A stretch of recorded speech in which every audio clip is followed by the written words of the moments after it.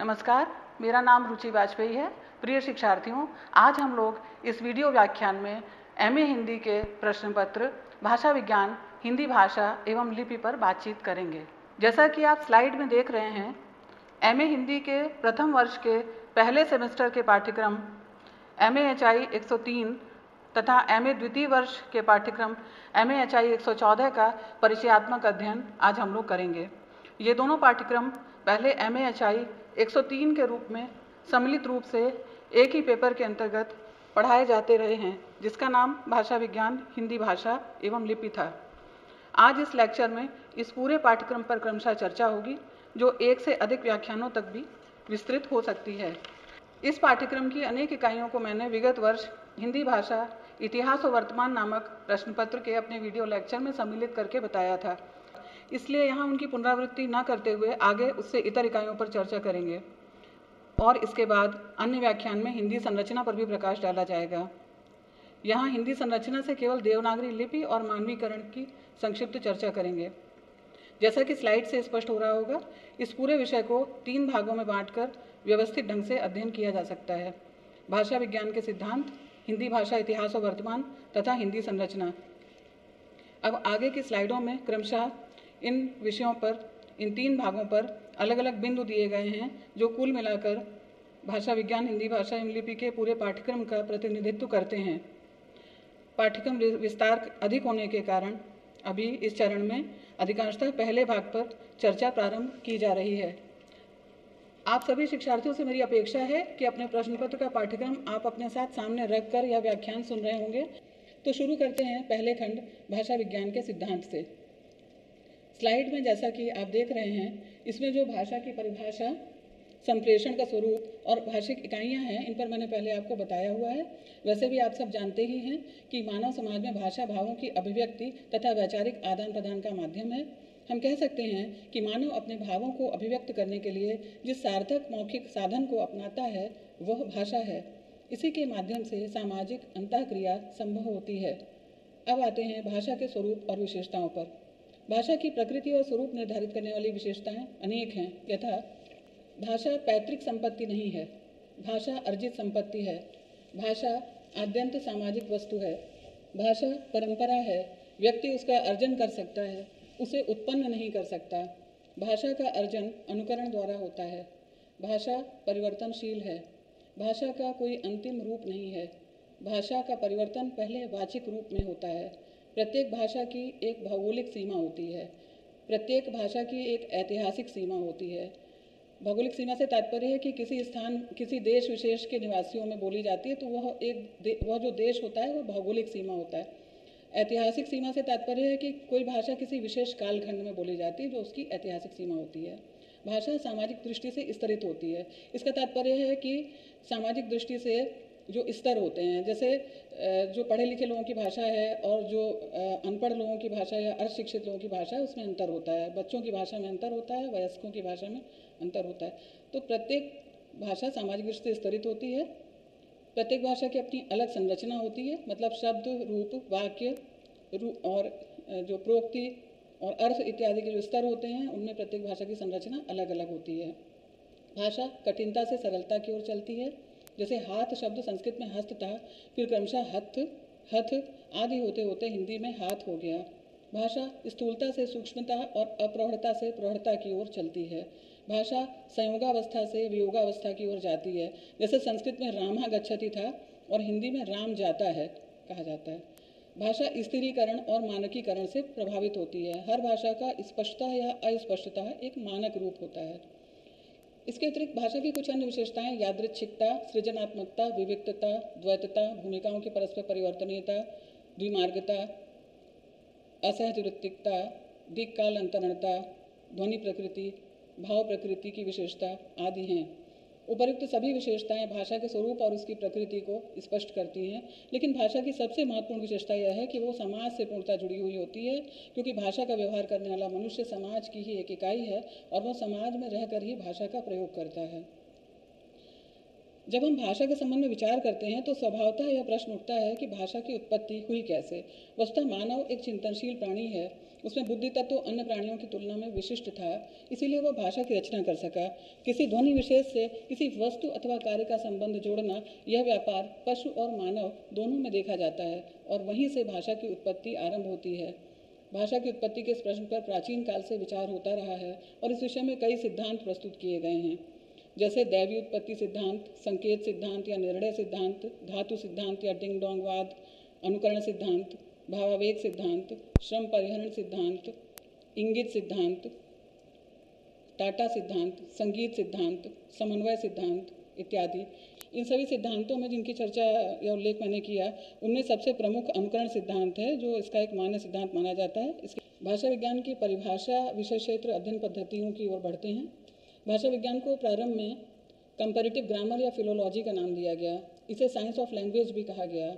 आज इसके लिए सर्वाधिक प्रचित शब्द लिंग्विस्टिक्स है। भाषा विज्ञान के अर्थ में इस शब्द का प्रयोग सबसे पहले फ्रांस में हुआ था।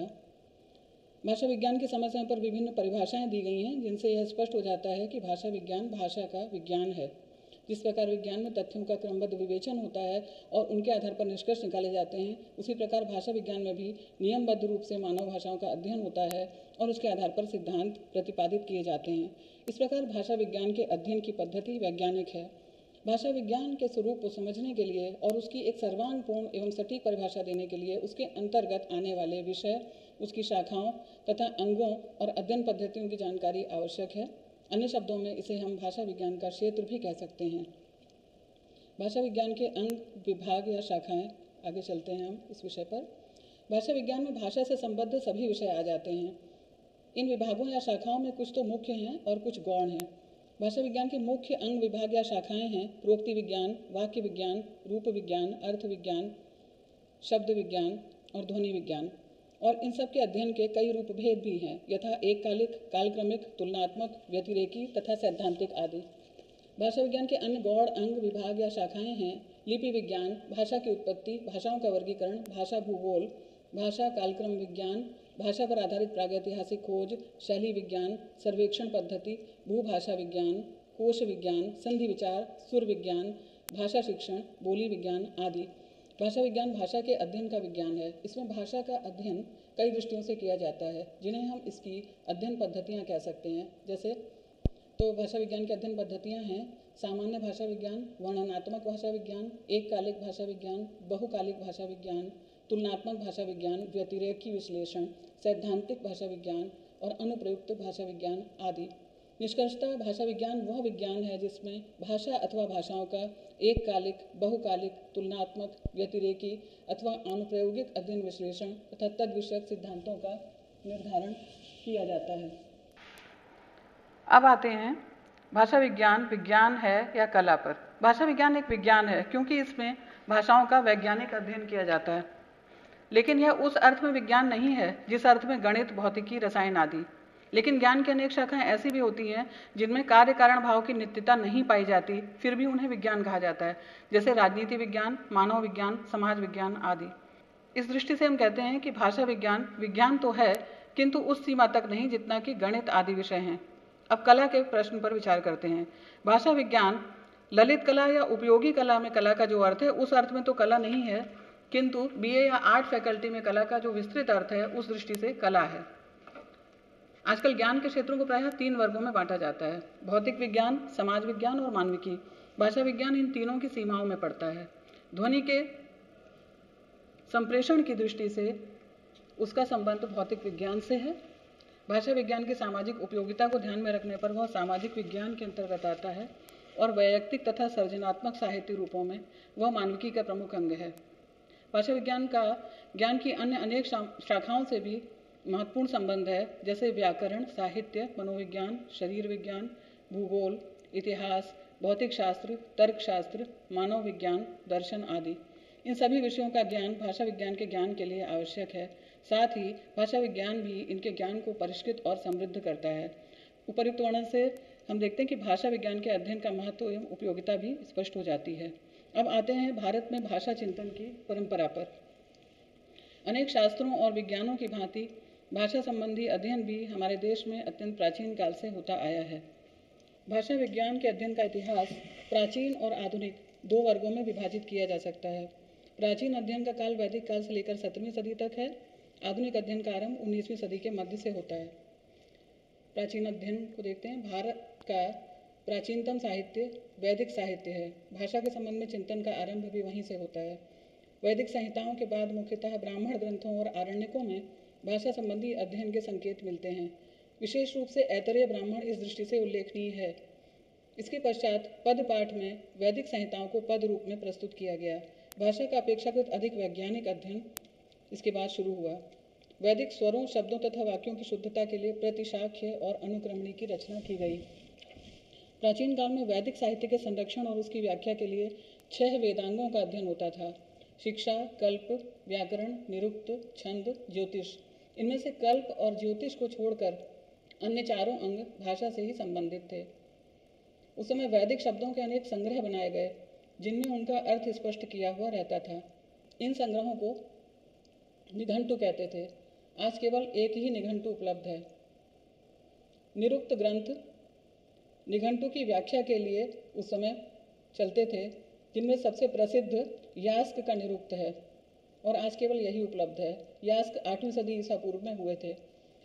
इनके निरुक्त में अनेक पूर्ववर्ती एवं समवर्ती व्याकरण संप्रदायों एवं व्याकरणों के नाम तथा उदाहरण दिए गए हैं, जिनसे उस समय तक के भाषा संबंधी अध्ययन पर प्रकाश पड़ता है। इस प्रकार निरुक्त भाषा विज्ञान और अर्थ विज्ञान का प्राचीनतम प्रामाणिक ग्रंथ है। वेद के छह अंगों में व्याकरण को सबसे अधिक महत्वपूर्ण माना गया है। व्याकरण के विषय में कहा गया है व्याक्रियंते शब्दाह अनेन इति। अर्थात शब्दों के विश्लेषण से संबंधित शास्त्र का नाम ही व्याकरण है। जिन विषयों को आजकल भाषा विज्ञान में विवेचित किया जाता है, उन सब का विवेचन पहले व्याकरण में ही किया जाता था। प्राचीन ग्रंथों में लगभग पचास व्याकरणों का उल्लेख मिलता है। पाणिनि के पूर्व के व्याकरण समुदाय के जनक आपिशली तथा काशकृत्न माने जाते हैं। भाषा विज्ञान के इतिहास में पाणिनि का अन्यतम स्थान है। उन्हें यदि विश्व का सबसे बड़ा व्याकरण माना जाए तो भी अत्युक्ति न होगी। पाश्चात्य विद्वानों ने भी इस बात को मुक्त कंठ से स्वीकार किया है। पाणिनि का स्थिति काल पांचवीं सदी ईसा पूर्व के आसपास का है। वे तक्षशिला के पास स्थित चालातुर नामक ग्राम के निवासी थे। उनका प्रमुख व्याकरण ग्रंथ अष्टाध्यायी है, जो चौदह माहेश्वर सूत्रों पर आधारित है। इन प्रत्याहार सूत्रों में वैदिक और लौकिक संस्कृत का संपूर्ण वर्ण समामनाय सन्निविष्ट है। स्थान, करण और प्रयत्न के अनुसार ध्वनियों को वर्गीकृत करके पाणिनि ने इन चौदह सूत्रों में प्रस्तुत कर दिया है। संधि के सूत्रों द्वारा पाणिनि ने ध्वनि परिवर्तनों का व्यापक और निरपवाद निरूपण किया है।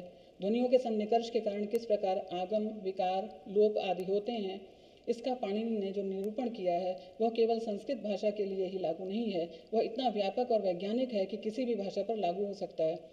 पाणिनि ने प्रकृति और प्रत्येक विभाग द्वारा शब्दों की उत्पत्ति का वैज्ञानिक आधार प्रस्तुत किया। ध्वनि, पद, वाक्य, अर्थ आदि भाषा का कोई ऐसा पक्ष नहीं है, जो पाणिनि व्याकरण में पूर्णतः विश्लेषित न हुआ हो। वस्तुतः भारत में तो अपाणनीय व्याकरण का अध्येता। व्याकरण ही नहीं माना जाता। व्याकरण संबंधी उच्चतर विवेचन ग्रंथ, जिन्हें टीका ग्रंथ कहते हैं, पाणनीय व्याकरण को ही आधार बनाकर रचे गए हैं। पाणनीय सूत्रों के व्याख्याकारों में कात्यायन और पतंजलि प्रमुख हैं। पाणिनि कात्यायन और पतंजलि को संस्कृत व्याकरण के मुनि त्रय की संज्ञा दी गई है। सचमुच संस्कृत व्याकरण को उच्चतम बिंदु पर पहुँचाने में ये लोग सफल रहे हैं। इसके बाद पाली भाषा में कच्चायन और मोगल्लायन व्याकरण उल्लेखनीय हैं। प्राकृत भाषा के क्षेत्र में वरुचिकृत प्राकृत प्रकाश और हेमचंद्र का शब्दानुशासन प्रसिद्ध हैं। कुछ काव्यशास्त्रीय ग्रंथों में भी भाषा संबंधी विवेचन मिलता है, जैसे आनंद वर्धन के ध्वन्यालोक मम्मट के काव्य प्रकाश और विश्वनाथ के साहित्य दर्पण आदि में। उपयुक्त विश्लेषण से यह स्पष्ट होता है कि प्राचीन काल में भारत में विभिन्न विद्वानों द्वारा भाषा पर पर्याप्त विचार किया गया है और भाषा विज्ञान के लगभग सभी अंगों को स्पर्श किया गया है। यह अलग बात है कि यह विवेचन इधर उधर बिखरा पड़ा है और उसे भाषा विज्ञान का स्वतंत्र विषय मानकर महत्व तो नहीं दिया गया। भारत में आधुनिक अध्ययन जो भाषा विज्ञान का है, उसको देख लेते हैं। आचार्य देवेंद्र नाथ शर्मा का कहना है, यह विचित्र विरोधाभास है कि यूरोप में भाषा विज्ञान के अध्ययन का आरंभ संस्कृत के अध्ययन और परिज्ञान से प्रेरित हुआ और भारत में यूरोपीय प्रभाव के फलस्वरूप। उसका लंबे समय तक पराधीनता के कारण भारतीयों में हीनता इस तरह से बदमूल हो गई कि उन्हें अपना सब कुछ तुच्छ प्रतीत होने लगा। इसीलिए यूरोपीय चिंतन को गौरव मिला। भाषा विज्ञान के क्षेत्र में आधुनिक काल में पाश्चात्य विद्वानों का ही कार्य सबसे पहला कार्य माना जाता है, जिनमें भारत में भाषा वैज्ञानिक चिंतन के लिए Caldwell John Beames, Kellogg, Hoernle Grierson Trumpp, Jules Bloch, Ralph Lilley Turner, Woolner आदि का योगदान उल्लेखनीय माना जाता है। भाषा विज्ञान के क्षेत्र में आधुनिक युग में काम करने वाले पहले भारतीय रामकृष्ण गोपाल भंडारकर हैं। भाषा शास्त्रीय दृष्टि से इतिहास एवं पुरातत्ववेत्ता गौरी शंकर हीराचंद्र ओझा की लिपि विषयक पुस्तकें महत्वपूर्ण हैं। कामता प्रसाद गुरु की प्रसिद्ध कृति है हिंदी व्याकरण, जिसमें हिंदी भाषा का अत्यंत गहराई और विस्तार से विश्लेषण किया गया है। इनके अतिरिक्त भारतीय आधुनिक भाषा वैज्ञानिक चिंतन के क्षेत्र में doctor Mangal Dev Shastri, doctor Kapil Dev Dwivedi, doctor Suniti Kumar Chatterji, doctor Dhirendra Verma, Chandradhar Sharma Guleri, Padma Singh Sharma, doctor Baburam Saksena, doctor Uday Narayan Tiwari, Hardev Bahri और भोलानाथ तिवारी आदि के नाम प्रमुख हैं। भारत में भाषा चिंतन की पाश्चात्य परंपरा पर आते हैं।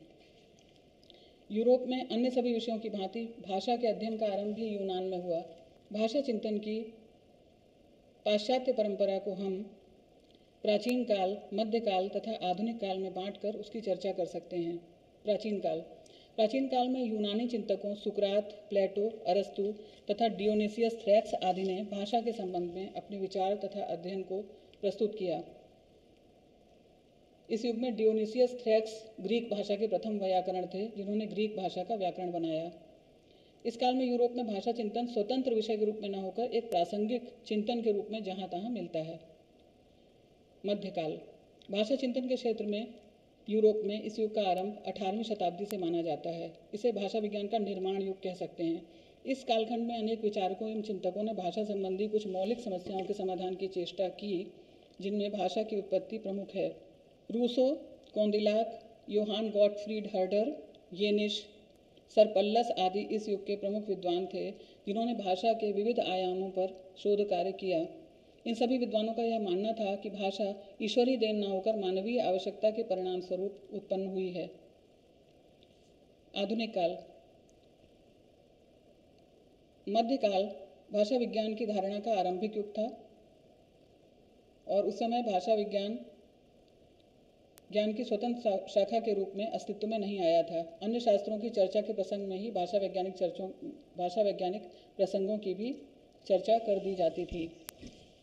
आधुनिक काल अर्थात 19वीं सदी में आकर भाषा शास्त्र ज्ञान की एक स्वतंत्र शाखा के रूप में प्रतिष्ठित हो गया और भाषा विज्ञान के अध्ययन ने एक निश्चित रूप प्राप्त किया। इस काल के उल्लेखनीय विचारक Coeurdoux, sir William Jones, Henry Thomas Colebrooke Friedrich von Schlegel, Wilhelm von Humboldt Rasmus Rask Jacob Grimm Georg Curtius Friedrich Max Müller आदि हैं। इसके बाद नव्य व्याकरणों का युग आता है।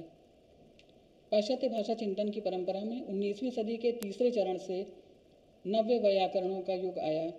ग्रासमैन, वर्नर, अस्कोली, ये स्पर्जन आदि इसी समय के भाषा वैज्ञानिक रहे हैं। इनके अतिरिक्त सस्यूर, स्वीट, ब्लूमफील्ड, चोम्स्की आदि भी नव्य युग के विद्वान हैं। हम कह सकते हैं कि पाश्चात्य भाषा विज्ञान का आरंभ जर्मनी में हुआ, जहाँ से उसका क्षेत्र पश्चिम की ओर बढ़ता गया। जर्मनी से फ्रांस फ्रांस से इंग्लैंड और इंग्लैंड से अमेरिका। आज भाषा विज्ञान की सभी शाखाओं पर सबसे अधिक काम अमेरिका में हो रहा है। फ्रांस के वैज्ञान, भाषा वैज्ञानिकों, सस्यूर का तथा अमेरिकी भाषाविदों ब्लूमफील्ड और चोम्स्की का उल्लेखनीय महत्व इस क्षेत्र में है। इनका थोड़ा थोड़ा परिचय जानना भी आवश्यक है। संरचनात्मक भाषा विज्ञान के बारे में इस संदर्भ में हम देखते हैं। 19वीं शताब्दी का अंत और 20वीं शताब्दी का प्रारंभ संरचनात्मक भाषा विज्ञान के उदय का समय है, जिसके प्रवर्तक फ्रांस के भाषाविद सस्यूर हैं और संरचनात्मक भाषा विज्ञान को विश्लेषण के तौर पर रूप देने वाले अमेरिकी भाषा वैज्ञानिक ब्लूमफील्ड हैं। फर्दिनांड द सस्यूर ने संरचनावादी चिंतन का प्रारंभ किया। उनके समय तक भाषा विज्ञान के क्षेत्र में अधिकतर ऐतिहासिक और तुलनात्मक भाषा विज्ञान पर ही काम हुआ था। सस्यूर ने भाषा के अध्ययन के लिए सैद्धांतिक आधार निश्चित करने की दिशा में महत्वपूर्ण कदम उठाया, जिससे उन्नीसवीं शताब्दी के अंतिम चरण में विवरणात्मक भाषा विज्ञान का सूत्रपात हुआ। सस्यूर भाषा को एक स्वतः पूर्ण व्यवस्था मानते हैं। इस संदर्भ में वे वाक की संकल्पना को प्रस्तुत करते हैं, वाक या पैरोल की संकल्पना को उन्होंने प्रस्तुत किया। इस प्रकार उनके अनुसार भाषा प्रतीकों की व्यवस्था है, जिसमें अर्थ और ध्वनि बिंबों का संयोजन है। सस्यूर भाषा विज्ञान में इन प्रतीकों के अध्ययन पर बल देते हैं। लियोनार्ड ब्लूमफील्ड पर चर्चा करते हैं। सस्यूर के बाद 20वीं सदी में विवरणात्मक भाषा विज्ञान को व्यवस्थित रूप ब्लूमफील्ड ने प्रदान किया।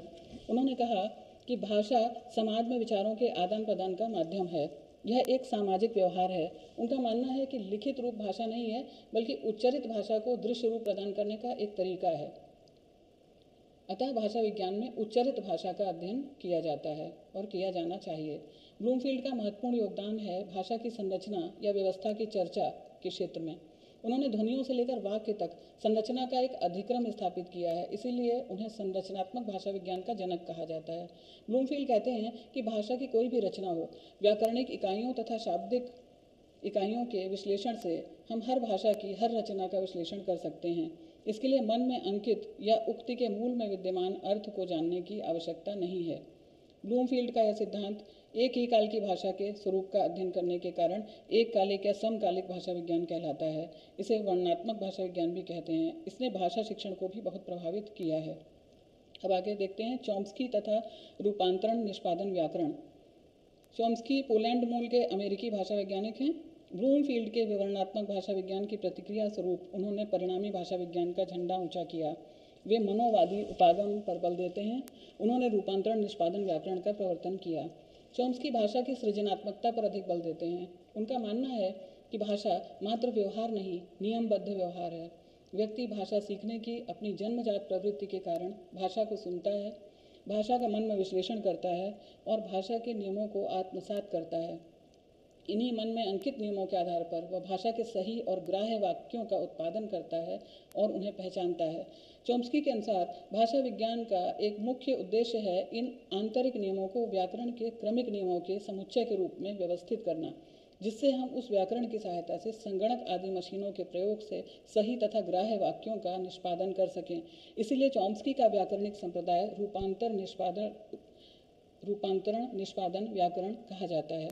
इस संप्रदाय के कारण भाषा अर्जन, भाषिक दोषों का विश्लेषण आदि विषय क्षेत्रों में भी नए युग का सूत्रपात हुआ और आज भी इसमें अनेक नई तकनीकें जुड़ती जा रही हैं।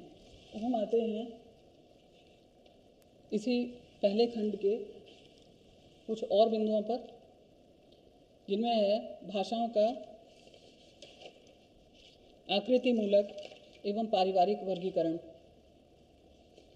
विश्व में हज़ारों भाषाएँ बोली जा सकती हैं। सभी का अध्ययन संभव नहीं है।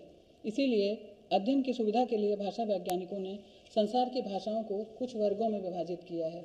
विश्व की भाषाओं का वर्गीकरण मुख्यतः दो प्रकार से किया गया है। एक तो आकृति मूलक वर्गीकरण, जिसमें भाषाओं को संबंध तत्व पद रचना या रूप रचना की समानता के आधार पर वर्गीकृत किया गया है। आकृति मूलक इस वर्गीकरण को रूपात्मक वर्गीकरण भी कहते हैं। पारिवारिक वर्गीकरण का आधार भाषाओं में अर्थ तत्व की समानता है। इसके अंतर्गत एक ही मूल भाषा से विकसित हुई भाषाएँ एक भाषा परिवार में रखी जाती हैं। इस तरह से पूरे विश्व में 10 से अधिक भाषा परिवार माने गए हैं, जिनके विषय में पिछले व्याख्यान में बताया गया था। यहाँ पर आकृति मूलक वर्गीकरण की थोड़ी चर्चा ज़रूरी है। इसमें संपूर्ण विश्व की भाषाओं को दो भागों में बांटा गया है, अयोगात्मक भाषाएँ एवं योगात्मक भाषाएँ। अयोगात्मक भाषाएँ, वे भाषाएँ हैं जिनमें शब्दों में उपसर्ग या प्रत्यय आदि जोड़कर वाक्य में प्रयुक्त होने योग्य रूप नहीं बनाए जा सकते। वाक्य में शब्द की स्थिति से ही इनमें अर्थ का निर्णय होता है। इसी कारण इन्हें स्थान प्रधान भाषाएँ भी कहते हैं, जैसे चीनी एक अयोगात्मक भाषा है। अफ्रीका की सूडानी, एशिया की बर्मी, तिब्बती आदि भाषाएँ भी इसी प्रकार की हैं। योगात्मक भाषाएँ। इस प्रकार की भाषाओं में संबंध तत्व तथा अर्थ तत्व आदि का योग होता है और इस योग के कारण उसके कहीं भी रखने पर उसका अर्थ अपरिवर्तित रहता है। उदाहरणार्थ राम बाणेन रावणम हंति में राम, बाण, रावण तथा हन अर्थ तत्व हैं। इनमें लगी हुई विभक्तियाँ संबंध तत्व हैं। इन दोनों के संयोग से शब्द निष्पन्न हुए हैं, जिनका अर्थ स्थान भेद होने पर भी निश्चित और अपरिवर्तित रहता है। जैसे रावणम हंति राम बाणेन, या बाणेन रावणम हंति राम करने पर भी अर्थ वही निकलता है। इस प्रकार की योगात्मक भाषाओं को पुनः तीन वर्गों में विभाजित किया गया है। प्रश्लिष्ट योगात्मक, अश्लिष्ट योगात्मक और श्लिष्ट योगात्मक भाषाएँ। प्रश्लिष्ट योगात्मक भाषाएँ, भाषाओं में संबंध तत्व और अर्थ तत्व शीरवत अभिन्न रूप से एक दूसरे से ऐसे जुड़े रहते हैं कि उसे अलग करना तो दूर, अलग से पहचानना भी मुश्किल होता है। प्रश्लिष्ट योगात्मक भाषाओं के पुनः दो रूप होते हैं, पूर्ण प्रश्लिष्ट और आंशिक प्रश्लिष्ट। अश्लिष्ट योगात्मक भाषाएँ अगर देखें तो इस वर्ग की भाषाओं में संबंध तत्व और अर्थ तत्व एक दूसरे के साथ तिल तंडुल के समान जुड़ता है। मतलब दोनों युक्त तो होते हैं, तब भी स्पष्ट रूप से दिखाई देते रहते हैं। तुर्की इस वर्ग की प्रतिनिधि भाषा है। इस प्रकार की भाषाओं में प्रत्यय या संबंध तत्व कहीं अर्थ तत्व से पहले आता है, कहीं मध्य में आता है और कहीं अंत में आता है। कभी कभी आगे पीछे दोनों ओर भी लगता है। इसी आधार पर इन अश्लिष्ट योगात्मक भाषाओं को चार भागों में विभाजित किया गया है। पूर्व योगात्मक, मध्य योगात्मक, अंत योगात्मक और पूर्वांत योगात्मक भाषाएँ। अब आते हैं श्लिष्ट योगात्मक भाषाओं पे। इस प्रकार की भाषाओं में अर्थ तत्व में संबंध तत्व का योग होने पर एक तो कुछ ना कुछ विकार आ जाता है और दूसरे संबंध तत्व अलग से दिखाई पड़ता है। यह विकार के कारण अंतर्निहित नहीं हो जाता। अरबी, संस्कृत आदि इस प्रकार की भाषाएँ हैं। जैसे अरबी में क, त, ल, तीन अक्षरों की धातु है, इसका अर्थ है मारना, कत्ल करना। तो इसमें अगर कातिल कहा जाए तो अर्थ है मारने वाला, मकतूल कहा जाए तो उसका अर्थ है जिसका कत्ल किया गया हो। तो ला में ही जब संबंध तत्व जुड़ जाता है तो उसके अलग अलग अर्थ निकलने लगते हैं। ऐसे संस्कृत भाषा का उदाहरण देखिए, जैसे वेद है तो उससे वैदिक बना, वेदज्ञ बना। यह भी इसी प्रकार का उदाहरण है। प्रायः सामी, हामी तथा भारोपी परिवार की भाषाएँ सृष्टि योगात्मक वर्ग के अंतर्गत आती हैं, जो सर्वाधिक उन्नत भाषाएँ हैं। इन भाषाओं को भी दो उपवर्गों में रखा गया, अंतर्मुखी भाषाएँ और बहिर्मुखी भाषाएँ। अंतर्मुखी भाषाएँ, इन भाषाओं में संबंध तत्व, अर्थ तत्व के साथ घुल मिल जाता है। अरबी इस प्रकार की भाषा है अभी उदाहरण मैंने दिया ही है। अंतर्मुखी भाषाओं के भी दो रूप, संयोगात्मक और वियोगात्मक हैं। तो मतलब ये सामी हामी भाषाएँ जो हैं प्रारंभ में संयोगात्मक थी, प्राचीन भाषाओं में, लेकिन अब इनकी प्रकृति वियोगात्मकता की ओर बढ़ रही है, अर्थात इनमें अलग से संबंध तत्व लगाने और प्रसर्ग लगाने की आवश्यकता पड़ने लगी है। और इसी वर्ग की श्लिष्ट योगात्मक की बहिर्मुखी जो भाषाएँ हैं, बहिर्मुखी वर्ग की भाषाएँ हैं, उनमें संबंध तत्व प्रायः अर्थ तत्व के बाद आता है। भारूपी परिवार की भाषाएँ इसी वर्ग की हैं। इनके भी दो भेद किए जा सकते हैं, संयोगात्मक और वियोगात्मक भाषाएँ। अर्थात प्राचीन इनमें जो भाषाएँ थी, उनमें संयोगात्मक भाषाएँ पाई जाती थी, जैसे संस्कृत और वियोगात्मक भाषाएँ। मतलब विकास के बाद वर्तमान स्थिति जो इन भाषाओं की है भारूपी परिवार की भाषाओं की, जैसे अंग्रेज़ी, हिंदी, बंगला आदि योगात्मक भाषाएँ हो गई हैं। इनमें परसर्ग अलग से लगते हैं, संबंध तत्व, अर्थ तत्व के साथ अलग से जुड़ता है। इस प्रकार से यह भाषाओं का आकृति मूलक वर्गीकरण है। भाषा परिवर्तन या भाषा विकास के कारण और दिशाएँ, इस पर भी थोड़ी चर्चा करते हैं। भाषा में परिवर्तन या विकास होना किसी भाषा की जीवंतता का प्रमाण होता है। भाषा का परिवर्तन उसके ध्वनि, शब्द, रूप, अर्थ तथा वाक्य पाँचों रूपों में होता है। इस परिवर्तन के अनेक कारण होते हैं। जिनमें कुछ भीतरी कारण होते हैं और कुछ बाह्य कारण होते हैं। भाषा परिवर्तन के भीतरी या आभ्यंतर कारणों के अंतर्गत अपूर्ण श्रवण, अपूर्ण अनुकरण, प्रयोग से घिस जाना जैसे संस्कृत के कारक चिन्ह हिंदी में धीरे धीरे लुप्त हो गए हैं।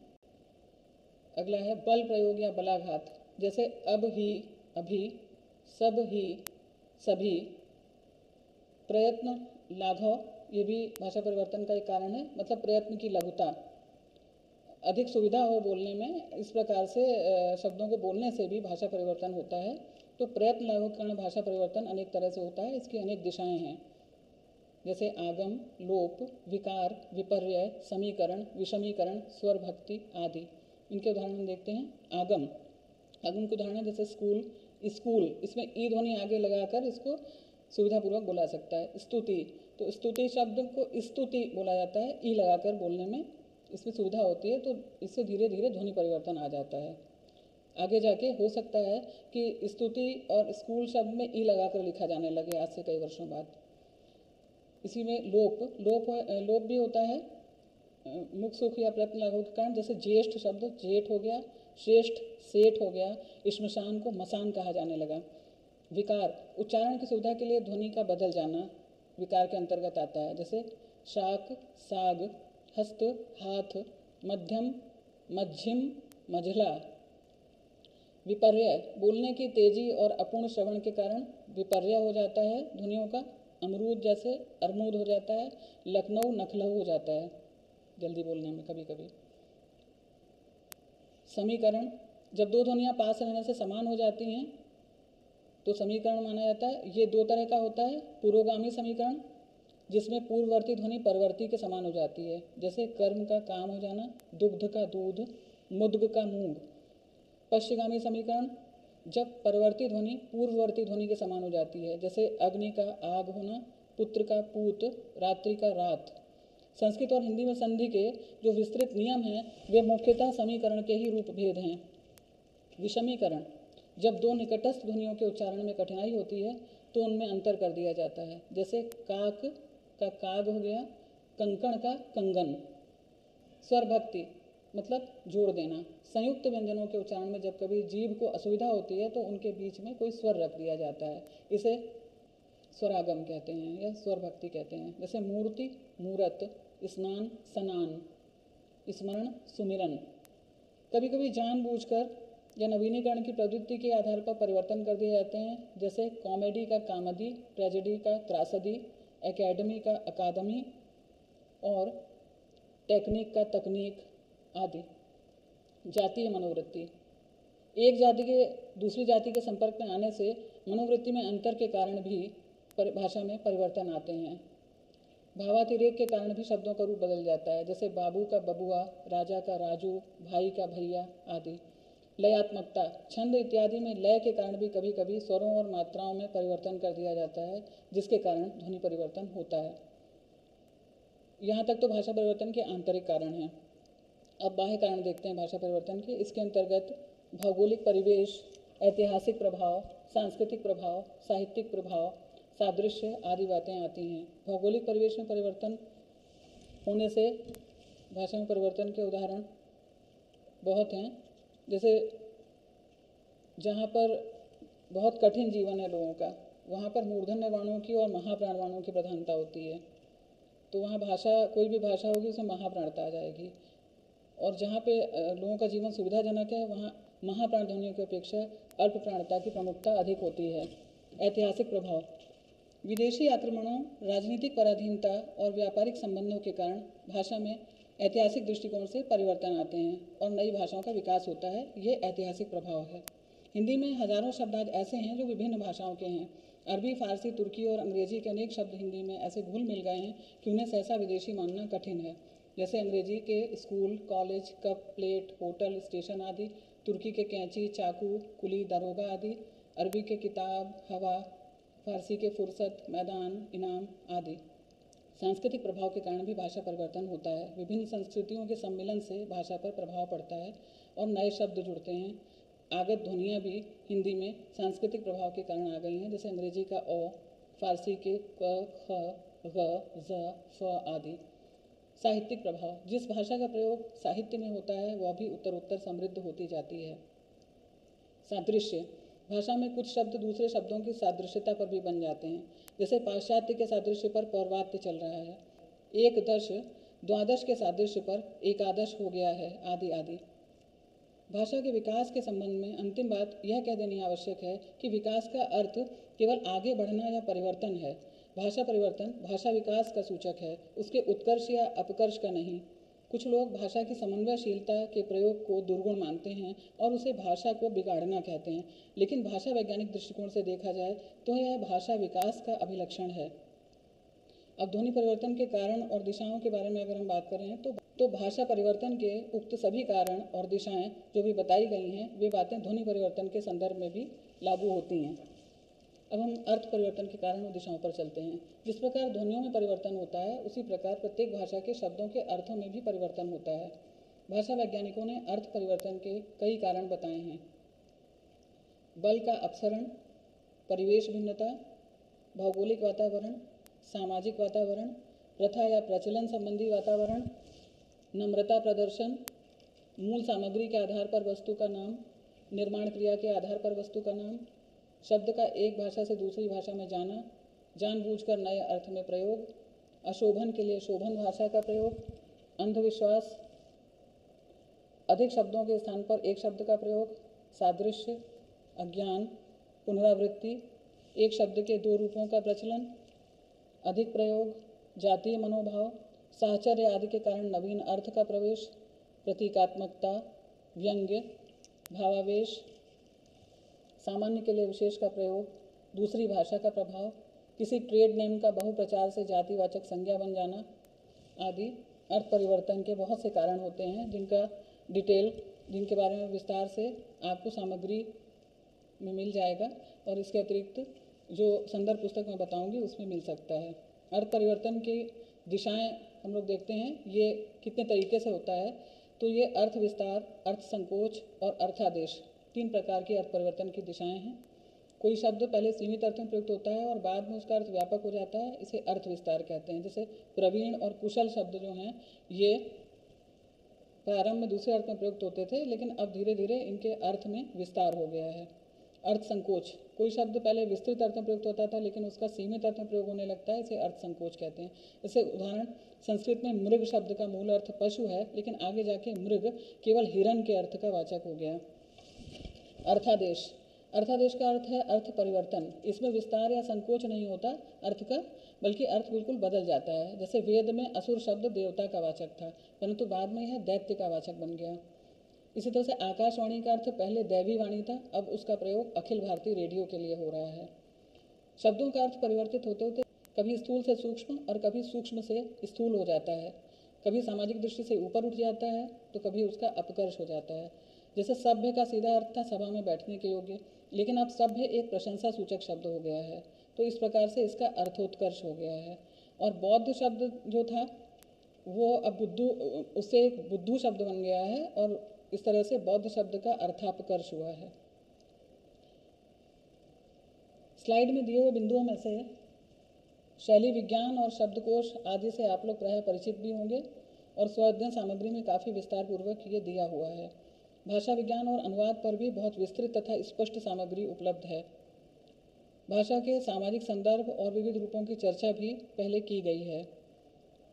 राष्ट्रभाषा और राजभाषा के रूप में हिंदी के विषय में भी बताया गया है। समाज भाषा विज्ञान वाली इकाई में भाषा और बोली के अंतर को भी स्पष्ट किया गया है और भाषा का सामाजिक संदर्भ भी उससे स्पष्ट हो रहा है। हिंदी उर्दू और हिंदुस्तानी के संदर्भ के विषय में भी मैंने पहले बताया है। अब भाषा शिक्षण की विधियों उद्देश्य केंद्रित भाषा शिक्षण और त्रुटि विश्लेषण पर बात करते हैं। भाषा शिक्षण के विषय में पहले भी चर्चा हो चुकी है, जिसमें त्रिभाषा सूत्र पर प्रकाश डाला गया था। पिछले लेक्चर में हिंदी में शिक्षा के बारे में चर्चा हुई थी। यहाँ पर देखेंगे भाषा शिक्षण की प्रमुख विधियों के बारे में। ये विधियाँ अनेक हैं, जैसे व्याकरण विधि, व्याकरण अनुवाद विधि, प्रत्यक्ष विधि और संप्रेषण परक भाषा शिक्षण। तो इनमें व्याकरण विधि और व्याकरण अनुवाद विधि तो नाम से ही स्पष्ट हैं। प्रत्यक्ष विधि में हम देखते हैं कि भाषा शिक्षण को व्यावहारिक रूप देने के लिए यह विधि सामने आई है। इस विधि में मातृभाषा को मध्यस्थ न बना के अन्य भाषा के सीधे संपर्क में लाकर शिक्षार्थी को मौखिक अभ्यास के सहारे भाषा सिखाई जाती है। इसलिए इसे मौखिक वार्तालाप विधि भी कहा जाता है। यह भाषा शिक्षण की एक लोकप्रिय विधि के रूप में विकसित हुई है, क्योंकि इसमें भाषा के विषय में न बता के भाषा सीधे सीधे सिखाई जाती है। संप्रेषण परक भाषा शिक्षण भाषा सीखने से संबंधित व्यावहारिक पक्ष को और विकसित करने के लिए संप्रेषण परक भाषा शिक्षण पद्धति सामने आई है। इस शिक्षण में भाषा के मौखिक रूप और उसकी सामाजिक, सांस्कृतिक विशेषताओं को सीखने तथा उनके व्यवहार पर बल दिया जाता है। इस विधि के द्वारा भाषा शिक्षण के क्षेत्र में समाज, भाषा विज्ञान और शैली विज्ञान की सहभागिता बढ़ी है। उद्देश्य केंद्रित भाषा शिक्षण। भाषा का अध्येता भाषा को किसी न किसी उद्देश्य से सीखता है। भाषा शिक्षण की आधुनिक विचारधारा यह मानती है कि शिक्षार्थी के उद्देश्य को प्रमुखता देनी चाहिए। इसीलिए भाषा शिक्षण आज उद्देश्य केंद्रित है। मातृभाषा, द्वितीय भाषा और विदेशी भाषा तीनों ही स्तरों पर भाषा शिक्षण के उद्देश्य निर्धारित किए गए हैं, जो इस प्रकार हैं। सर्जनात्मक क्षमता, दृष्टि की मुक्तता, बुद्धि का विकास और व्यक्तित्व की सामाजिकता, इन सभी के विकास के लिए भाषा शिक्षण कराया जाता है। ये भाषा शिक्षण के उद्देश्य हैं। भाषा शिक्षण की प्रक्रिया में इन उद्देश्यों की पूर्ति बहुत आसान नहीं होती है। इसमें समय समय पर बहुत सी बाधाएँ आती रहती हैं, जो प्रायः मातृभाषा तथा सीखी जाने वाली भाषा की संरचना में अंतर अथवा व्यतिरेक पर आधारित होती हैं। कभी कभी ऐसा भी होता है कि अध्येता अपनी मातृभाषा सीखने की अवधि में जिन गलतियों को आत्मसात कर लेता है, वे दूसरी भाषा सीखते समय भी उसका पीछा नहीं छोड़ती हैं। यदि सीखी जाने वाली भाषा की संरचना अध्येता की मातृभाषा की संरचना से मेल खाती है तो तो उसे संरचना को सीखने की आवश्यकता नहीं पड़ती है। केवल अन्य भाषा के शब्द सीख लेने पर ही वह उस भाषा का व्यवहार करने लगता है। लेकिन इन दोनों भाषाओं में संरचनात्मक अंतर जब होता है, तब भाषा सीखने वाले व्यक्ति द्वारा अपनी मातृभाषा की अभिरचना का अंतरण दूसरी भाषा पर किए जाने के कारण भाषा व्याघात की स्थिति उत्पन्न होती है। भाषा शिक्षण और त्रुटि विश्लेषण। भाषा शिक्षण के क्षेत्र में अधिगम की बाधाओं को दूर करने के लिए त्रुटि विश्लेषण और अभ्यास का बड़ा महत्व है। इनके लिए विशेष प्रकार की शिक्षण विधियों का प्रयोग किया जाता है। भाषा सीखते समय अध्येता द्वारा की जाने वाली त्रुटियों की पहचान, उनके कारणों का निदान तथा उनके उपचार की व्यवस्था की जानी आवश्यक होती है ताकि भाषा शिक्षण के उद्देश्यों की पूर्ति में सफलता मिल सके। आधुनिक भाषा शिक्षक त्रुटियों को हे नहीं मानते, क्योंकि इसे अधिगम करता या भाषा देता के भाषा विकास की एक स्वाभाविक प्रक्रिया माना जाता है। आज भाषा शिक्षण में इस बात पर बल दिया जाता है कि त्रुटि विश्लेषण के द्वारा भाषा अधिगम के वातावरण को, शिक्षण सामग्री को और शिक्षण विधि को पुनर्गठित किया जा सकता है, जिससे कि भाषा शिक्षण के मूल लक्ष्यों और उद्देश्यों की प्राप्ति की जा सके। कोई भी दो भाषाएँ पूरी तरह समान नहीं होती हैं, उनमें कुछ ना कुछ भिन्नता रहती है। इसके कारण भाषा सीखने में कठिनाइयाँ आती हैं। इन कठिनाइयों को जानने के लिए भाषा शिक्षण के क्षेत्र में व्यतिरेकी विश्लेषण का प्रयोग किया जाता है। इसमें स्रोत भाषा और लक्ष्य भाषा की तुलना के आधार पर उनकी समानता और असमानता का निर्धारण होता है और लक्ष्य भाषा के व्याकरण तथा अध्ययन सामग्री के निर्माण को प्रोत्साहन दिया जाता है। व्यतिरेकी विश्लेषण और त्रुटि विश्लेषण में इस प्रकार गहरा संबंध है। भाषा शिक्षण के समय अधिगम प्रक्रिया में जो त्रुटियाँ होती हैं, उनकी व्याख्या और निरूपण व्यतिरेकी विश्लेषण के द्वारा ही संभव होता है। छात्रों की प्रगति जानने और उनकी कठिनाइयों का निदान करने के लिए परीक्षण सामग्री के निर्माण में भी व्यतिरेकी विश्लेषण महत्वपूर्ण भूमिका निभाता है। भाषा शिक्षण में परीक्षण, मूल्यांकन और अभ्यास की भी महत्वपूर्ण भूमिका है। इसके बारे में डिटेल दिया हुआ है एसएलएम में उससे आप पढ़ सकते हैं। इस तरह से हम देखते हैं कि भाषा का व्यतिरेकी विश्लेषण संरचनात्मक भाषा विज्ञान पर आधारित है और भाषा दोष विश्लेषण या त्रुटि विश्लेषण चॉम्स्की के उपागम पर आधारित है। त्रुटियाँ भाषा अर्जन की प्रक्रिया के सहज अंग हैं, जिससे पता लगता है कि भाषा के नियमों को आत्मसात करने की प्रक्रिया कैसे काम कर रही है। अब हम आते हैं आज की चर्चा के दूसरे भाग, हिंदी भाषा, इतिहास और वर्तमान पर। विगत वर्ष के अपने वीडियो व्याख्यान में मैंने इसमें से अधिकांश पर आपको बता दिया था। आज यहाँ पर हम लोग आधुनिक भारतीय भाषाओं के विषय में थोड़ा सा फिर से देख लेते हैं, तथा पूर्वी हिंदी और पश्चिमी हिंदी में अंतर के बारे में भी जान लेते हैं। पहले थोड़ा सा बताया था मैंने पूर्वी हिंदी पश्चिमी हिंदी के बारे में, लेकिन ये प्रश्न आता है महत्वपूर्ण है, इसलिए इस पर थोड़ी सी चर्चा ज़रूरी है। आधुनिक भारतीय आर्य भाषाएँ। आधुनिक भारतीय आर्य भाषाओं का क्षेत्र संपूर्ण उत्तर भारत है। इसमें बंगाल, बिहार, उड़ीसा, उत्तर प्रदेश, मध्य प्रदेश एवं राजस्थान आते हैं। इसके अतिरिक्त पंजाब, हरियाणा, हिमाचल प्रदेश भी इसके अंतर्गत आते हैं। गुजरात, महाराष्ट्र भी इसके प्रमुख क्षेत्र हैं। आधुनिक भारतीय आर्य भाषाओं को हम निम्न पाँच भागों में वर्गीकृत कर सकते हैं। उत्तरी वर्ग, सिंधी लहंदा और पंजाबी इसमें आती हैं। पश्चिमी वर्ग में गुजराती आती है। मध्य देशी वर्ग, इसमें राजस्थानी, पश्चिमी हिंदी, पूर्वी हिंदी, बिहारी और पहाड़ी हिंदी आती है। पूर्वी वर्ग में ओडिया, बंगला और असमिया भाषाएँ आती हैं। दक्षिणी वर्ग में मराठी आती है। ईसा की पंद्रहवीं शताब्दी तक भारतीय आर्य भाषाएँ आधुनिक काल में पदार्पण कर चुकी थीं। यह वही काल है जो आधुनिक खड़ी बोली हिंदी के प्रारंभिक विकास का काल है, जब दक्षिणी के रूप में उसका दक्षिण भारत के प्रांतों में विकास हो रहा था। हिंदी क्षेत्र में उसका विकास इस, उस समय ब्रज और अवधि के रूप में हो रहा था। पैशाची, शौरसेनी, महाराष्ट्री, अर्धमागधी एवं मागधी अपभ्रंश भाषाओं ने क्रमशः आधुनिक सिंधी, पंजाबी, हिंदी, राजस्थानी, गुजराती, मराठी पूर्वी हिंदी, बिहारी, बांग्ला तथा उड़िया भाषाओं को जन्म दिया। अब इन आधुनिक आर्य भाषाओं की विशेषताएँ उन पर एक नज़र डालते हैं। आधुनिक भारतीय आर्य भाषाओं में प्रमुखता वही ध्वनियाँ हैं जो प्रायः प्राकृत अपभ्रंश आदि में थीं, किंतु कालक्रम में उनमें कुछ बदलाव आ गए हैं। जैसे री री का प्रयोग तत्सम शब्दों में है, किंतु बोलने में यह स्वर न रहकर अब रा के साथ ई या ऊ का योग रह गया है। उत्तरी भारत की भाषा ध्वनियों में जहाँ ऊष्म ध्वनियों का प्रश्न है तो लिखने के लिए श श और स तीनों ध्वनियों का प्रयोग हो रहा है, लेकिन इनके उच्चारण में एक रूपता नहीं है। विदेशी भाषाओं के कारण आधुनिक आर्य भाषाओं में अनेक भाषाओं से नई ध्वनियाँ आ गई हैं, जैसे क ख ह, ज, फ, अ आदि। लोक भाषाओं में इनका उच्चारण इस रूप में नहीं हो पा रहा है, किंतु शिक्षित वर्ग इनको बोलने का प्रयास करता है। शब्दों में अंतिम अ, संयुक्त व्यंजन आदि को छोड़कर प्रायः लुप्त हो गया है, जैसे राम अब। राम शब्द का माँ प्रायः हलंत बोला जाता है। इसी तरह से अब शब्द बहुत जल्दी में अब बोला जाता है। आधुनिक भाषाओं में द्वित्व व्यंजन में से केवल एक व्यंजन शेष रह गया है, तथा पूर्ववर्ती स्वरों में क्षतिपूरक दीर्घता आ गई है। यथा, कर्म कम काम, अष्ट, अठ, आठ, अग्नि अज्ञ आग। मतलब कर्म शब्द पहले कम हुआ और फिर काम हो गया। इसी तरह से अष्ट शब्द पाली इत्यादि में अठ हुआ और हिंदी में आठ हो गया। पंजाबी और सिंधी भाषाओं में इसके अपवाद मिलते हैं। उनमें प्राकृत से मिलते जुलते रूप हैं। आधुनिक भारतीय आर्य भाषाओं में अपभ्रंश की तुलना में रूप कम हो गए हैं, जिससे भाषा सरल हो गई है। संस्कृत में कारक के तीनों वचनों में चौबीस रूप बनते थे। लेकिन प्राकृत में ये रूप घटकर बारह रह गए, अपभ्रंश में ये रूप छह शेष बचे और आगे चलकर आधुनिक आर्य भाषाओं में इनका रूप केवल तीन या चार हो गया।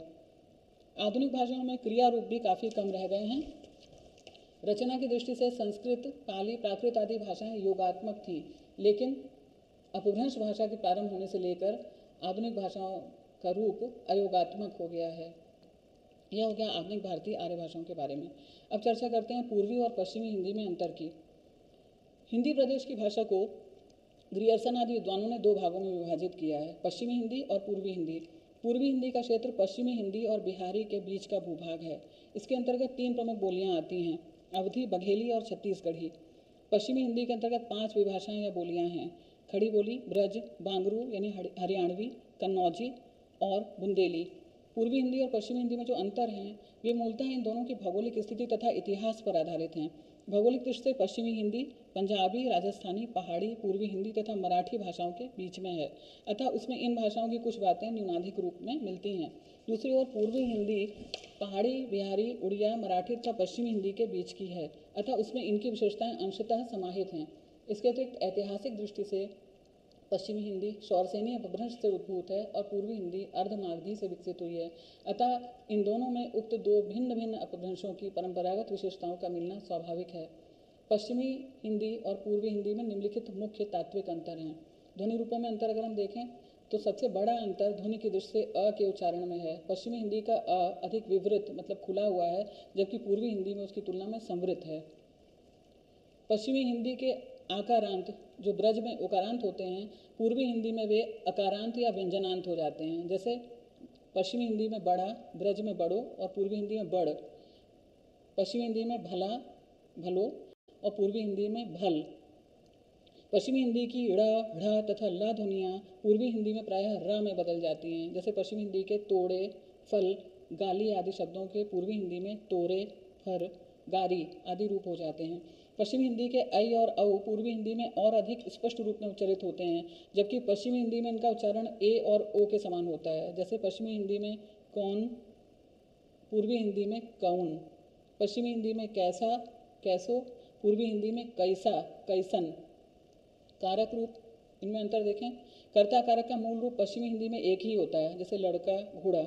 पूर्वी हिंदी में अनेक शब्दों के वायुक्त दीर्घ रूप तथा वान वाले दीर्घतर रूप भी होते हैं, जैसे लरिकवा लरिकमान घोड़वा, घोड़वान। पश्चिमी हिंदी में आकारांत पुल्लिंग का रूप कर्ता में सुरक्षित रहता है, किंतु तिरक में एकारांत हो जाता है, जैसे लड़के, घोड़े आदि। पूर्वी हिंदी में कर्ता रूप रहा अभिकारी होता है, लरिका, घोड़ा। यह बदलता नहीं है। सर्वनाम। दोनों के सर्वनाम में काफ़ी अंतर होता है। पश्चिमी हिंदी की खड़ी बोली और ब्रज के संबंधवाचक सर्वनाम, जो, सो, कौन आदि पूर्वी हिंदी में क्रमशः जे, जवन, ते, तवन, के, कवन आदि हो जाते हैं। परसर्ग, पश्चिमी हिंदी में कर्ता कारक में ने, न आदि परसर्ग लगते हैं, किंतु पूर्वी हिंदी में परसर्ग नहीं लगता। यथा पश्चिमी हिंदी या खड़ी बोली में उसने कहा को पूर्वी हिंदी में कहेंगे उकहिस। दूसरी बात यह है कि पूर्वी हिंदी में परसर्ग, संज्ञा अथवा सर्वनाम रूपों के साथ जुड़ जाते हैं। आकृति मूलक वर्गीकरण के अंतर्गत इसे भाषा की संयोगात्मक स्थिति कहते हैं। पश्चिमी हिंदी की प्रवृत्ति ठीक इसके विपरीत वियोगात्मकता की ओर जाती है। क्रिया रूप पश्चिमी हिंदी और पूर्वी हिंदी के क्रिया रूपों की रचना में भी अंतर है। पश्चिमी हिंदी में भविष्य काल के क्रिया रूप ग लगाकर बनते हैं, जैसे मारूँगा, मारूंगो। पूर्वी हिंदी में ह लगाकर और ब लगाकर रूप बनते हैं, जैसे मारी हो मारिब, मारिबे आदि। भूतकाल के क्रिया रूपों में पश्चिमी हिंदी में आकारांत या ओकारांत रूप होते हैं। पश्चिमी हिंदी में जैसे किया, कियो। पूर्वी हिंदी में ये रूप सा लगाकर बनते हैं, जैसे करिस। इस प्रकार भूतकाल तथा भविष्यत काल के रूपों के आधार पर पूर्वी हिंदी का स्थान शौरसैनी तथा मागधी के बीच सिद्ध होता है। इसे सही अर्थों में प्राचीन अर्ध मागधी की यथार्थ प्रतिनिधि भाषा कहा जा सकता है। इसके विपरीत पश्चिमी हिंदी शौरसैनी की परंपरा को संजोए हुए है। इस तरह व्याकरणिक रूपों की दृष्टि से दोनों भाषाओं में पर्याप्त भिन्नता है, किंतु मूल शब्द भंडार की समानता के कारण बोधगम्यता की दृष्टि से इन दोनों वर्गों, पूर्वी हिंदी और पश्चिमी हिंदी में विशेष अंतर नहीं है। अब विवेच्य पाठ्यक्रम के इसी द्वितीय भाग, हिंदी भाषा, इतिहास और वर्तमान संबंधी कुछ अन्य बिंदुओं को एक नज़र देखिए। इनमें से भी अधिकांश विषय में चर्चा हो चुकी है। स्व अध्ययन सामग्री में भी विस्तार से बताया गया है। यहाँ पर हिंदी की संवैधानिक स्थिति और राजभाषा तथा राष्ट्रभाषा के रूप में उसके विकास पर एक बार पुनः चर्चा अपेक्षित है। संविधान में भाषा के सवाल को बहुत महत्व दिया गया है। कुछ कुल तीन अनुच्छेदों में से ग्यारह अनुच्छेद इसी पर हैं। संविधान के अनुसार देवनागरी में लिखी हिंदी संघ की राजभाषा है और राजकीय प्रयोजनों के लिए अंतर्राष्ट्रीय रूप वाले भारतीय अंक प्रयोग में लाए जाएँगे। 14 सितंबर उन्नीस सौ उनचास ईस्वी को संविधान में हिंदी को राजभाषा और देवनागरी को राजलिपि घोषित किया गया। राजभाषा से तात्पर्य शासन के तीनों अंगों, विधायिका, न्यायपालिका और कार्यपालिका में प्रयुक्त होने वाली भाषा से है। संविधान की उक्त घोषणा से हिंदी को राजभाषा का गौरव तो मिला, लेकिन हिंदी और हिंदुस्तानी का जो विवाद स्वतंत्रता से पहले उठ खड़ा हुआ था, उसका अहिंदी भाषी राज्यों ने लाभ उठाया। महात्मा गांधी ने हिंदुस्तानी के माध्यम से हिंदी की एक सरल रूपरेखा तैयार अवश्य की थी, परंतु फारसी और हिंदी लिपि के प्रश्न ने इसे विवादित कर दिया। यह वास्तव में अंग्रेज़ी सरकार की एक कूटनीतिक चाल थी, जिसने हिंदी की इन दो शैलियों के बीच एक खाई बनाकर छोड़ दी और भाषा को जातीय उत्पीड़न का साधन बनाया। परिणाम यह हुआ कि जिस हिंदी ने देश को राष्ट्रीय आंदोलन के समय एक सूत्र में बांधा था, उसके ऊपर चारों ओर से प्रहार आरंभ हो गए। इसके फलस्वरूप संविधान में ही पंद्रह वर्षों, अर्थात सन 1965 तक सरकारी कामकाज के लिए सह राजभाषा के रूप में अंग्रेज़ी को बनाए रखने का निर्णय हुआ। संविधान में हिंदी के साथ साथ देश की अन्य प्रांतीय भाषाओं के विकास और परस्पर सहयोग की बात भी कही गई है। संविधान के उपबंधों के संदर्भ में राजभाषा हिंदी के कार्यान्वयन को हम तीन प्रमुख चरणों के रूप में देख सकते हैं। पहला चरण 1950 से उन्नीस तक का था, जिसमें विशिष्ट राजकीय प्रयोजनों के लिए हिंदी भाषा के प्रयोग को संवैधानिक रूप से प्राधिकृत करना था और हिंदी के विकास के लिए निश्चित रूपरेखा तैयार करनी थी। इस अवधि में राष्ट्रपति के चार आदेश निकले और संसद द्वारा एक संकल्प पारित किया गया था। दूसरा चरण उन्नीस से उन्नीस तक का था। इस चरण में राष्ट्रीय स्तर पर हिंदी को राजभाषा का दर्जा देने के संबंध में मतैक्य न होने के कारण कुछ संशोधन किए गए। जिससे अंग्रेज़ी को अनिर्दिष्ट समय तक सह राजभाषा के रूप में बनाए रखने का निर्णय लिया गया। इस प्रकार भारत में इस समय दो राजभाषाएँ चल रही हैं। तीसरा चरण उन्नीस के बाद का है, जिसके अंतर्गत उन्नीस सौ सड़सठ के राजभाषा अधिनियम के आधार पर कार्यान्वयन संबंधी विविध प्रयास किए जा रहे हैं। अब आते हैं राष्ट्रभाषा हिंदी की संवैधानिक स्थिति पर। किसी राष्ट्र में सर्वाधिक प्रयुक्त होने वाली सर्वमान्य भाषा ही वहाँ की राष्ट्रभाषा होती है। उसे शासन और जनता दोनों से मान्यता प्राप्त होती है। उसी में देश का राजकाज होता है। एक देश अथवा राष्ट्र के भिन्न भिन्न प्रांतों के लोग जो अलग अलग भाषाएँ बोलते हैं, वे अन्य प्रदेशों के लोगों से संपर्क भाषा के रूप में राष्ट्रभाषा का ही व्यवहार करते हैं। हर समृद्ध राष्ट्र की अपनी भाषा होती है, जिसमें वह अपनी सभ्यता, संस्कृति, धर्म, चिंतन आदि को व्यक्त करता है। यही उसकी राष्ट्रभाषा कहलाती है, जो वास्तव में उसकी आत्मा है। वे सभी गुण विद्यमान हैं जो किसी देश की राष्ट्रभाषा के लिए अपेक्षित हैं।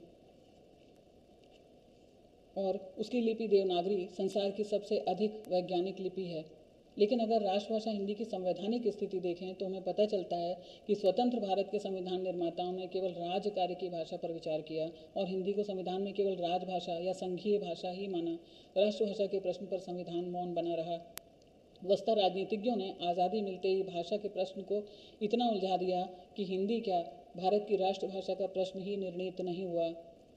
स्वतंत्रता के पश्चात राजभाषा के रूप में भी हिंदी का प्रश्न जहाँ लगातार विवादास्पद बना रहा, वहीं हिंदी अपनी स्वाभाविक जीवनी शक्ति के कारण पूरे देश में विकसित होती रही। हिंदी भारत के प्रत्येक क्षेत्र में समझी जाने वाली भाषा है, इसीलिए स्वतंत्रता के बाद अभिव्यक्ति के प्रत्येक माध्यम ने हिंदी को सहजता से स्वीकार किया है। वैसे स्वतंत्रता के पश्चात हिंदी की स्थिति चाहे जितनी विवादास्पद भारत देश में रही हो अंतर्राष्ट्रीय स्तर पर उसका सम्मान बढ़ा है और हिंदी का अंतर्राष्ट्रीय स्वरूप दिनों दिन निखरता जा रहा है, जिसकी चर्चा हम पहले भी कर चुके हैं। मानकीकरण की आवश्यकता के भी विषय में मैंने पहले थोड़ा बहुत बताया है। अब विवेच्य पाठ्यक्रम के तीसरे भाग हिंदी संरचना की ओर बढ़ते हैं। अब इस तीसरे भाग के सभी बिंदुओं पर चर्चा का समय नहीं है। इन पर विस्तृत चर्चा अगले वीडियो व्याख्यान में संभव होगी। अभी केवल देवनागरी लिपि और मानकीकरण पर चर्चा कर लेते हैं। देवनागरी लिपि, इसके परिचय नामकरण, उद्भव विकास, वैज्ञानिकता, सीमाओं और संभावनाओं पर आपको तैयारी करनी है। और इससे आगे बढ़कर इसी के संदर्भ में मानकीकरण की चर्चा होगी। मनुष्य ने अपने विकास के क्रम में विचारों की अभिव्यक्ति के लिए पहले भाषा का व्यवहार शुरू किया। फिर इस भाषा को स्थायित्व देने के लिए इसके लिखित रूप की आवश्यकता अनुभव की गई। इसी आवश्यकता से भाषाओं में लिपि का विकास हुआ। प्राचीन काल में भारत में मुख्यतः दो लिपियाँ प्रचलित थीं, ब्राह्मी और खरोष्ठी। वस्तः ब्राह्मी लिपि से ही समस्त भारतीय लिपियाँ विकसित हुई हैं, जिसकी एक शाखा के रूप में देवनागरी का विकास भी हुआ है। देवनागरी का नामकरण संदर्भ बहुत सामान्य सा है, इसे आप लोग स्वयं पढ़ सकते हैं। अब आते हैं इसके उद्भव और विकास पर। देवनागरी लिपि के उद्भव और विकास को जानने के लिए प्राचीन भारतीय लिपियों के इतिहास को जानना ज़रूरी है। भारतीय लिपियों का क्रमबद्ध इतिहास 500 ईसा पूर्व के आसपास से मिलता है। प्राचीन काल में ब्राह्मी और खरोष्ठी दो लिपियाँ प्रचलित थीं। खरोष्ठी लिपि पश्चिमोत्तर प्रदेश की लिपि थी और शेष भारतवर्ष में ब्राह्मी लिपि प्रचलित थी। कुछ विद्वान ब्राह्मियों को मूलतः द्रविड़ों की लिपि मानते हैं, किंतु कुछ आर्यों की। ब्रह्मा से इस लिपि की उत्पत्ति मानी जाने के कारण इसे ब्राह्मी कहा गया। इस काल की दूसरी लिपि खरोष्ठी है। खरोष्ठी का शाब्दिक अर्थ है खर धन ओष्ठी, अर्थात गधे के ओठ के समान। देखने में भद्दी होने के कारण इसे यह नाम दिया गया होगा। कुछ विद्वानों के अनुसार हिब्रू में खरोशेथ का अर्थ लिखावट है। उसी से प्राकृत शब्द खरोष्ठ बना और बाद में खरोष्ठी के रूप में विकसित हुआ। खरोष्ठी लिपि दाएँ से बाएँ लिखी जाती थी। बाद में ब्राह्मी के प्रभाव से यह भी बाएँ से दाएँ लिखी जाने लगी। 300 ईसा पूर्व तक खरोष्ठी लिपि बिल्कुल लुप्त हो गई और ब्राह्मी लिपि के उत्तर और दक्षिण भारत में अलग अलग रूप विकसित होना आरंभ हो गए। देवनागरी लिपि का विकास सीधे सीधे ब्राह्मी से नहीं हुआ।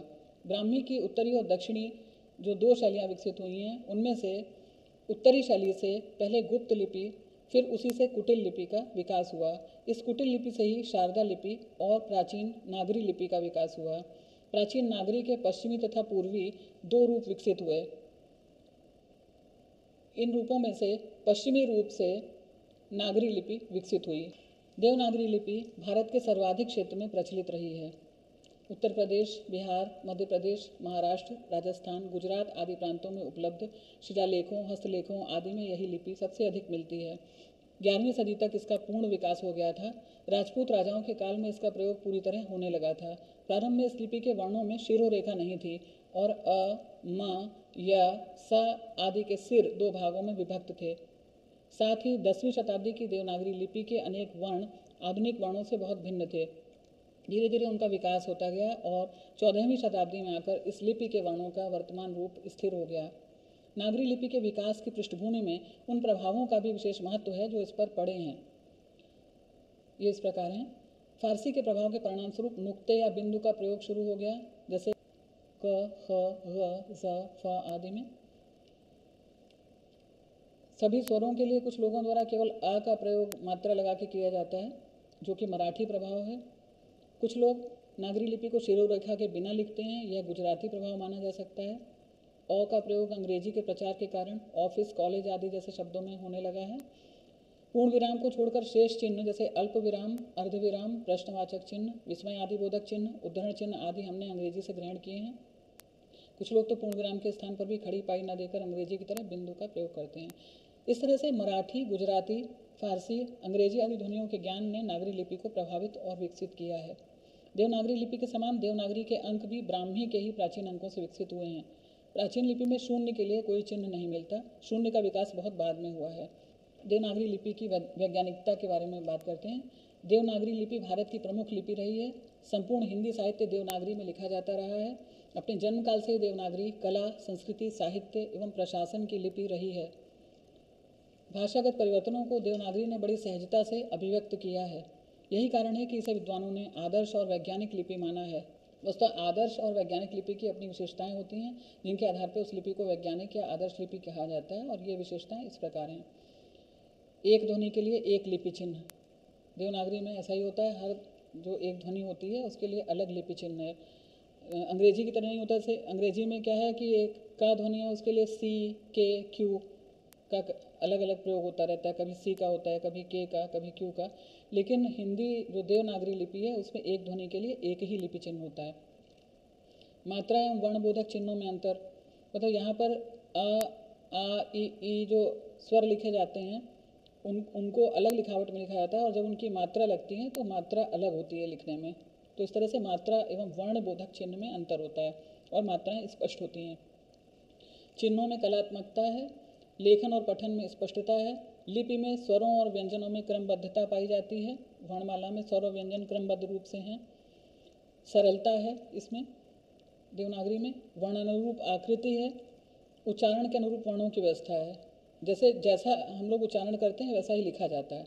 अंग्रेज़ी में जैसे इस तरह की दिक्कतें आती हैं, जैसे नॉलेज शब्द है। इसमें सभी वर्णों का उच्चारण नहीं होता है। जबकि हिंदी में जो लिखा जाता है, वैसे ही बोला जाता है।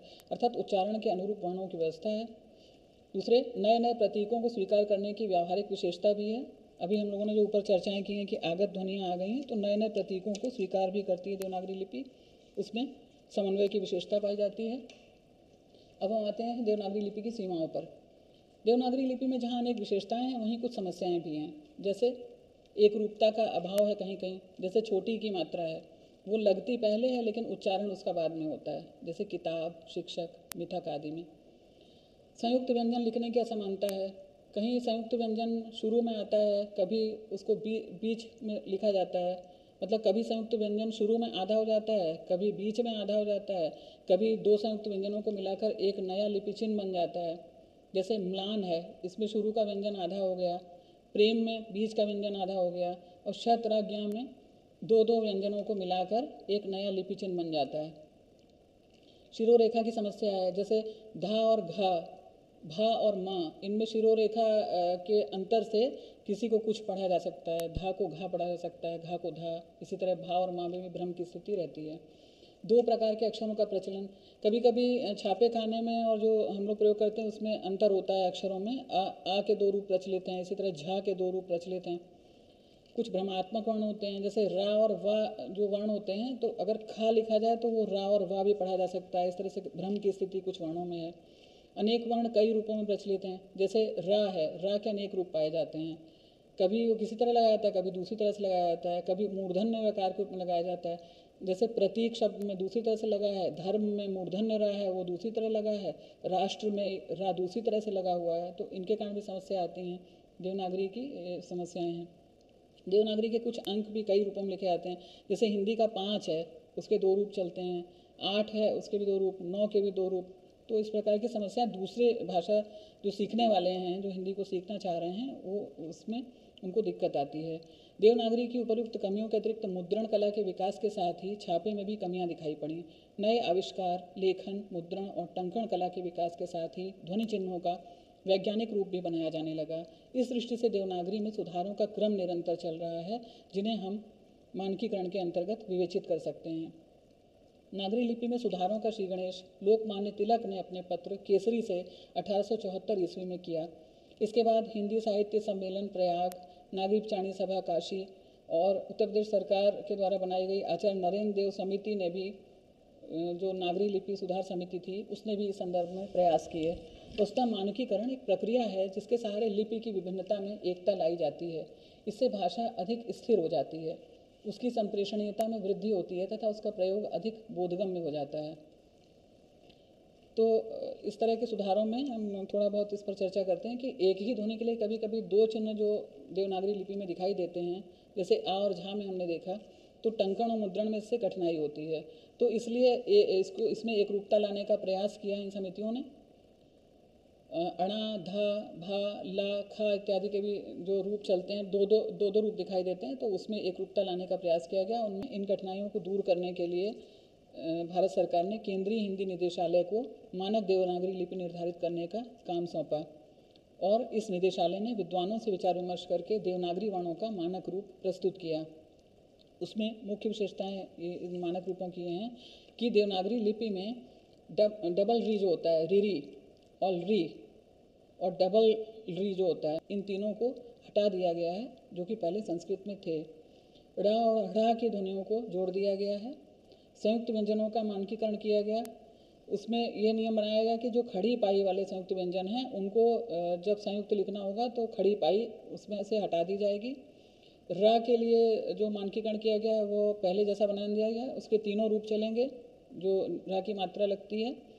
का और फा के बारे में भी संयुक्त व्यंजन में इनके लिखने के तरीके पर मानकीकरण किया गया। शत्र ज्ञा का वही रूप जो चल रहा था कि दो अक्षरों को मिला के जो एक लिखा जाता है, वही चलेगा। यह निर्धारित किया गया केंद्रीय हिंदी निदेशालय द्वारा। अनुस्वार का मानकीकरण किया गया कि वर्गीय पंचम के स्थान पर अनुस्वार को प्रमुखता दी जाए। अनुनासिकता का भी मानकीकरण किया गया और उसमें यह किया गया कि जिन शब्दों में मात्रा लगी हुई है जिन वर्णों पर मात्रा लगी है, उनमें अगर अनुनासिकता की ध्वनि दिखानी है हमें लिपि चिन्ह द्वारा तो मात्रा वाले वर्णों में बिंदी लगाई जाएगी और जिनमें मात्रा नहीं है, उनमें शिरो रेखा के ऊपर अनुनासिक का चिन्ह चंद्र बिंदु लगाया जाएगा। विसर्ग का भी मानकीकरण किया गया कि जो अतः, प्रातः, फलता इत्यादि संस्कृत से आए हुए शब्द हैं उनमें विसर्ग बना रखा जाएगा और बाकी जो हिंदी में ढले हुए शब्द हैं, जैसे संस्कृत का दुख शब्द है, इसमें मूलता विसर्ग है, लेकिन हिंदी में ये बिना विसर्ग के चलता है। अतएव अतः धन एव है, लेकिन हिंदी में ये अतएव के रूप में चलता है तो इनको उसी प्रकार बिना विसर्ग के ही लिखा जाए, जैसे कि चलन में है। अन्य भारतीय भाषाओं को भी देवनागरी में लिप्यंतरित करने का प्रयास किया गया, मानकीकरण के अंतर्गत। और उन भाषाओं की विशिष्ट ध्वनियों के लिए भी देवनागरी में चिन्ह बनाए गए। अतः हम कह सकते हैं कि यह परिवर्धित देवनागरी वसुता देवनागरी वर्णमाला का वह विस्तृत रूप है, जिसके माध्यम से अन्य भारतीय भाषाओं को लिप्यंतरित करना संभव है। संपर्क भाषा के रूप में हिंदी के विकास की यह भी एक दिशा है। शिक्षार्थियों की सुविधा के लिए इस प्रस्तुतिकरण के तीनों खंडों के अंतर्गत बनने वाले महत्वपूर्ण, दीर्घ एवं लघु उत्तरीय प्रश्न यहाँ अलग अलग प्रदर्शित किए जा रहे हैं। एम ए एच आई एक सौ तीन भाषा विज्ञान के विद्यार्थियों को सबसे पहले प्रथम भाग भाषा विज्ञान के सिद्धांत पर प्रश्न तैयार करने हैं। ये देखिए, भाषा विज्ञान के सिद्धांत पर ये दीर्घ उत्तरीय प्रश्न हैं। लगभग 400 शब्दों में इनमें से प्रत्येक प्रश्न को आपको करना है। अब इसी खंड पर लघु उत्तरीय प्रश्न देखिए। इन प्रश्नों की शब्द सीमा 100 से 150 शब्द तक है मतलब दो पेज के आसपास आपको प्रश्न पत्र में इन्हें लिखना होगा। अब इसी खंड पर कुछ और लघु उत्तरीय प्रश्न देखिए। जो इस पहले खंड भाषा विज्ञान के सिद्धांत पर महत्वपूर्ण प्रश्न है, ये पाठ्यक्रम के विभिन्न खंडों और इकाइयों को समाहित करते हुए बनाए गए हैं। यहाँ यह बता देना ज़रूरी है कि भाषा विज्ञान एम एच आई एक सौ तीन के छात्र अपने पाठ्यक्रम से देखकर द्वितीय एवं तृतीय खंड से भी संबंधित प्रश्नों को नोट कर लें, तब अध्ययन क्षेत्र पूरा हो पाएगा। M A H I Hindi भाषा के छात्रों को जो एमए हिंदी के तृतीय सेमेस्टर के छात्र होंगे, उन्हें यहाँ प्रस्तुत किए गए द्वितीय और तृतीय दोनों भागों पर दिए गए प्रश्नों को तैयार करना है। ये देखिए, दूसरे भाग के ये दीर्घ प्रश्न हैं, जो हिंदी भाषा, इतिहास और वर्तमान है। शब्द सीमा वही रहेगी मतलब चार पेज के लगभग ये सभी प्रश्न तैयार करने होंगे। दूसरे भाग के ये लघु उत्तरीय प्रश्न हैं, ये भी इसी दूसरे भाग पर कुछ और लघु प्रश्न हैं। विवेच्य पाठ्य वस्तु के तीसरे भाग, हिंदी संरचना पर, ये सब दीर्घ प्रश्न हैं। फिर देखिए, ये लघु प्रश्न दिए गए हैं। और ये देखिए, कुछ और लघु उत्तरीय प्रश्न हैं। यहाँ यह भी बताना है कि बीए हिंदी के छठे सेमेस्टर के पाठ्यक्रम D C E H I four Hindi संरचना के विद्यार्थी यहाँ तृतीय खंड पर दिए गए दीर्घ एवं लघु उत्तरीय प्रश्नों के आधार पर परीक्षा की तैयारी कर सकते हैं। आज का यह वीडियो व्याख्यान मुख्यतः भाषा विज्ञान, हिंदी भाषा एवं लिपि पर केंद्रित है। इसलिए इस विषय वस्तु पर पहले की सत्रांत परीक्षा में आए हुए एक प्रश्न पत्र का नमूना भी यह देखिए प्रदर्शित किया जा रहा है। अधिन्यास कार्य आप लोग कर चुके हैं, जिसका मूल्यांकन तीस अंकों के अंतर्गत होता है। शेष सत्तर अंक सत्रांत परीक्षा प्रश्न पत्र के लिए निर्धारित होते हैं। इस नमूना प्रश्न पत्र में आप लोग देख रहे होंगे कि कुल तीन खंड का, खा तथा गा हैं, लेकिन सत्र 2023-24 में एन ई 2020 के दिशा निर्देशों के अनुरूप प्रश्न पत्र संरचना में परिवर्तन किए गए हैं। पहले जहाँ कुल छः प्रश्न करने होते थे, अब कुल दस प्रश्न हल करने होंगे, जिनमें पाँच लघु तथा पाँच दीर्घ उत्तरीय प्रश्न होंगे। खंड का में चार चार अंकों के पाँच लघु उत्तरीय प्रश्न होंगे, जिनमें अथवा वाले आंतरिक विकल्प रहेंगे। इस प्रकार यह खंड का चार गुणे पाँच बराबर बीस अंकों का होगा। इसमें प्रत्येक प्रश्न का उत्तर लगभग सौ शब्दों में देना होगा। खंड खा में दस दस अंकों के पाँच दीर्घ उत्तरीय प्रश्न होंगे। इनमें भी अथवा वाले आंतरिक विकल्प दिए जाएँगे। इस प्रकार यह खंड खा दस गुणे पाँच बराबर पचास अंकों का होगा। इनमें प्रत्येक प्रश्न का उत्तर लगभग 350 से 400 शब्दों में देना होगा। इस तरीके से खंड का 20 अंक तथा खंड खा 50 अंक दोनों मिलाकर कुल 70 अंकों का आपका सत्रांत परीक्षा प्रश्न पत्र होगा। सत्रांत परीक्षा प्रश्न पत्र में प्रश्नों की संख्या अब ज़्यादा हो गई है, इसलिए परीक्षा में उत्तर लिखते हुए समय प्रबंधन बहुत ज़रूरी हो गया है। प्रयास करें कि 10 से 12 मिनट में आप प्रत्येक लघु प्रश्न का उत्तर लिखें और 20 से 25 मिनट के भीतर प्रत्येक दीर्घ प्रश्न का उत्तर लिखने में समर्थ हो सकें, तभी प्रश्न पत्र ठीक से हल कर पाएँगे। आप सभी शिक्षार्थियों को स्वाध्याय एवं सत्रांत परीक्षा की तैयारी के लिए मेरी शुभकामनाएँ हैं। इसी के साथ मैं अपनी बात यही समाप्त करती हूँ। आप सभी को बहुत बहुत धन्यवाद। नमस्कार।